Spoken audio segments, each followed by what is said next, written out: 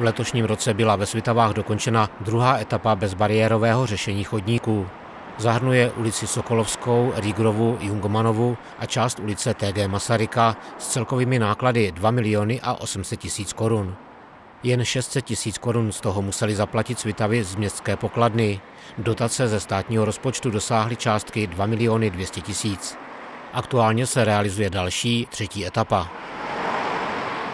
Tato třetí etapa opět navazuje, protože jsme měli zájem od ulice TG Masaryka propojit eh, bezbariérovou trasou i ulici eh, Richarda Kloudy, a to zejména eh, k prostoru základní školy k jídelně a dále k ulici Dvořákové.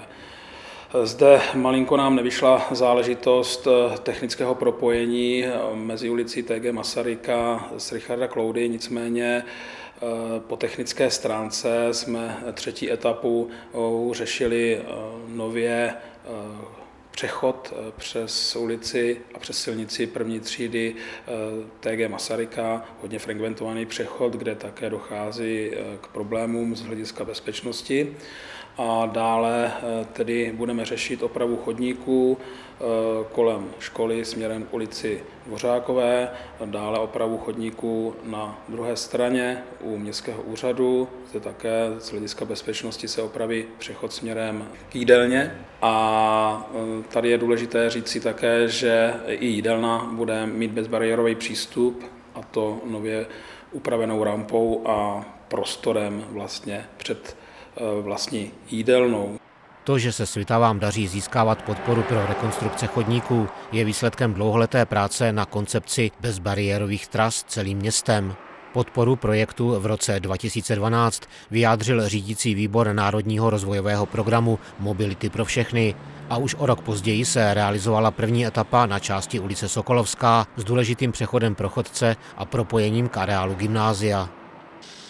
Nyní tedy probíhá třetí etapa a s ní někde souvisí i posílení a výměna veřejného osvětlení.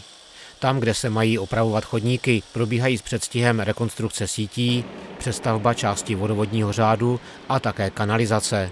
To proto, aby se v území nemuselo v brzké době kopat znovu. Ani třetí etapa rekonstrukce chodníků ale není poslední. Pokračujeme s přípravami dalších rekonstrukcí chodníků, ale nejenom chodníků, ale i komunikací. Požádali jsme o dotaci z integrovaného regionálního operačního programu na čtvrtou etapu bezbariérovosti. Ta by zase měla být provázaná s dokončením třetí etapy. Zde eh, se počítá s rekonstrukcí chodníků na ulici Richarda Kloudy směrem k ulici Dimitrovové. Zde by měla proběhnout rekonstrukce chodníků po obou stranách, ať už je to u autosalonu, a také u sídliště směrem eh, k restauraci Astra. Zde by měl vzniknout bezpečný přechod, ať už od autosalonu, eh, tak také bezpečný přechod směrem k autobusovému nádraží. Dále by se mělo pokračovat rekonstrukcí chodníků kolem nádražní budovy, autobusového nádraží a dále eh, směrem k ulici Purkyňová a odtud nahoru k nemocnici. Tato rekonstrukce se odhaduje v částce kolem 10 milionů korun. V uplynulých letech se na území města opravovala také kanalizace, a to téměř na dvou desítkách ulic. I zde postupně dochází k opravám chodníků a vozovek. My jsme v úzkém kontaktu eh, s vlastníky eh, energetických sítí, eh, protože je nezbytné, aby oni zrekonstruovali své zařízení.